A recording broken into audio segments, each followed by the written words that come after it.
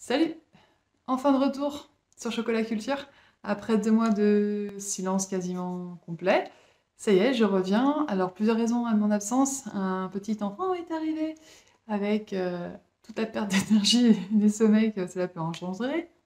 Un déménagement, des problèmes, euh, des soucis techniques, généralement par rapport à Internet, parce que maintenant je suis en pleine campagne.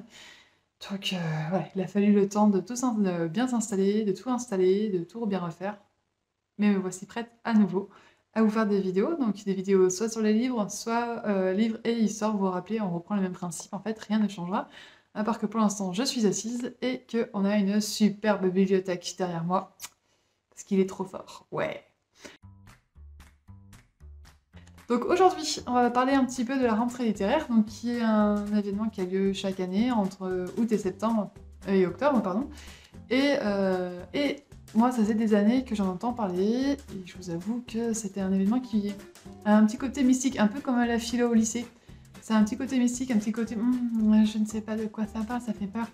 Les bouquins font peur, parce qu'en fait, on a toujours l'impression d'entendre parler de livres qui parlent euh, bah, de, de, soi, d'autobiographie, des romans compliqués à lire. Et en fait, on se rend compte que pas du tout, quand on fait un peu de recherche. Donc cette année, il y a 521 livres qui ont, qui ont été publiés, qui vont être publiés. Enfin voilà, sur cette période-là, donc 521 livres vont être publiés.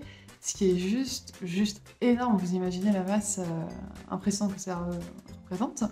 En plus, euh, il y a tous les prix qui sont décernés aussi. Donc le concours, forcément, le concours, qui fait un peu peur aussi hein, quand on entend parler généralement. Mais alors soit c'est ceux, ouais, j'ai lu le concours en fait. Soit euh, je lis pas les bouquins, j'ai pas de les parler de comprendre. Et j'avoue que je me suis que l'an dernier à lire un concours, celui de Hervé Letellier, donc le grand gagnant de l'édition 2020, avec l'anomalie, et qui est très très bien. Donc, en fait, on a pas mal d'a priori.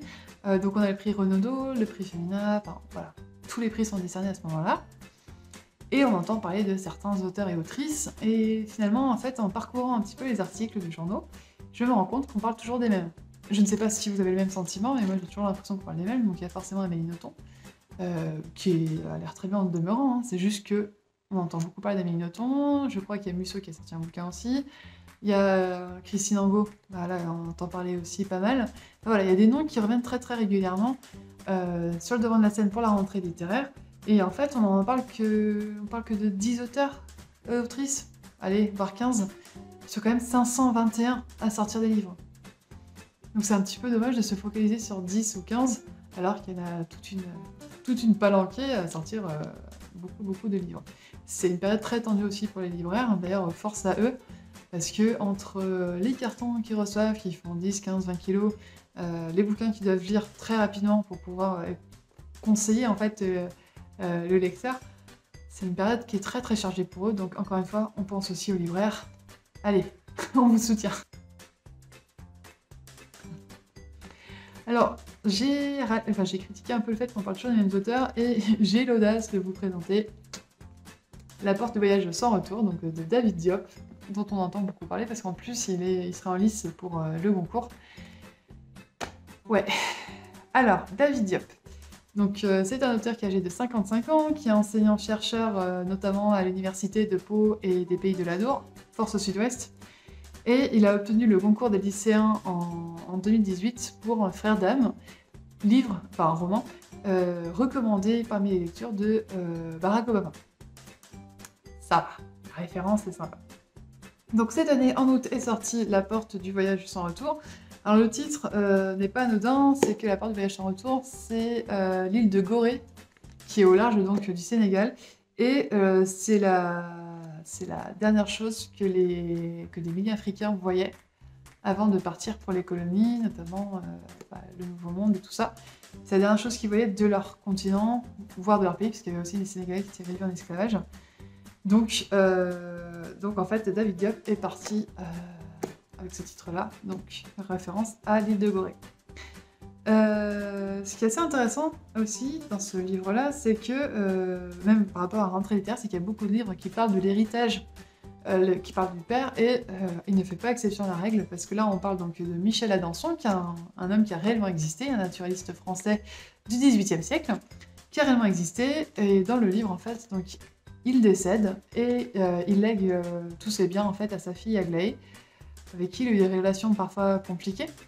Et elle, quand elle va euh, en fait regarder les meubles et tout ça, en fait, elle va découvrir un signe, une sorte de signature en fait sur un meuble sur lequel elle va appuyer.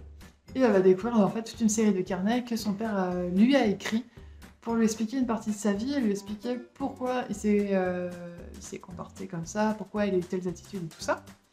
Et du coup, on suit Michel Adanson donc, au Sénégal, euh, à l'époque où c'était euh, une colonie française, euh, jusqu'en 1963. Hein, je vous rappelle les dates. oui, ça me fait plaisir de rappeler les dates comme ça.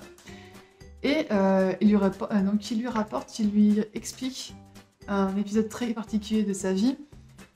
c'est au moment donc, il était au Sénégal, il a vécu plusieurs années là-bas, et en fait il est parti pour étudier la faune et la flore parce qu'il avait dans l'idée de construire la plus grosse encyclopédie du vivant, et donc il est parti là-bas parce qu'il y a plein d'espèces plein endémiques. Bah, si c'est endémique, du coup on ne le trouve pas en France. Et il avait envie voilà, de, tout compiler et de présenter au monde une grosse, une grosse encyclopédie.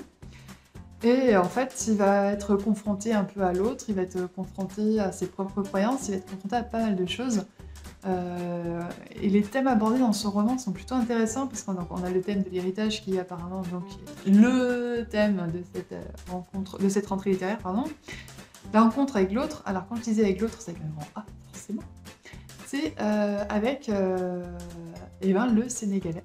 Parce qu'en fait, être, il va être très très proche d'un jeune homme, de 16 ans, sénégalais, et, il va découvrir un peu aussi euh, comment fonctionne notre pays, façon, notre façon de réfléchir, notre façon de fonctionner, qui n'est pas celle européenne. Et ce qui est bien, c'est ce qui est enrichi en fait, c'est quand on s'ouvre aux autres, n'est-ce pas?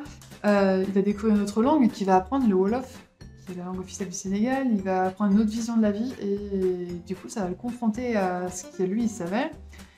Donc, il va aussi être confronté à l'esclavage, parce que lui, euh, il le dit clairement à un moment, il avait un petit peu, un petit.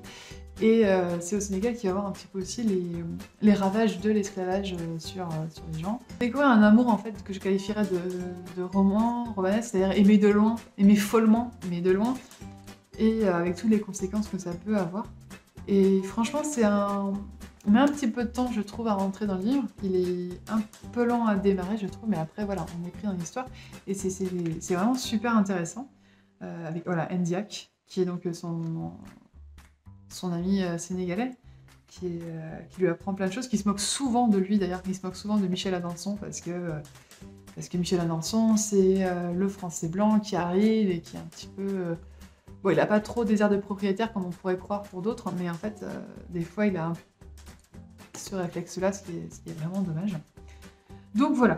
Donc en fait, Aglaé découvre l'histoire de son père au Sénégal et c'est très très très intéressant ça, renvoie à plein de choses et ça renvoie à cette situation actuelle euh, que j'ai pu voir moi en allant. J'ai eu la chance d'aller une semaine au Sénégal, à une opportunité grâce à ma grand-mère, et, euh, et j'ai vu que certaines personnes n'ont pas évolué depuis 2-3 siècles. Ils ont juste oublié, certaines personnes ont juste oublié que le Sénégal appartenait aux Sénégalais, non pas aux Français. Allez, bim, ça c'est fait. Alors, Michel Adanson.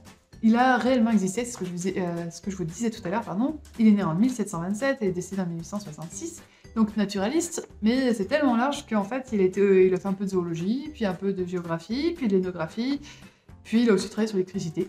Voilà, comme ça. Et il a travaillé sur ça donc au Sénégal et aussi aux Açores, et euh, sa contribution est quand même énorme. On n'entend pas parler parce qu'il n'a pas réussi à être publié, enfin il y a pas mal de choses qui, ont été contre lui. Et du coup, en fait, David Diop en parle dans son roman. Donc, La porte du voyage sans retour, que je vous conseille vivement, parce qu'il est vraiment, vraiment intéressant. Ah oui, encore une fois, je sais, je parle d'un auteur dont on parle beaucoup, mais euh, pour le coup, il est vraiment intéressant, je vous conseille.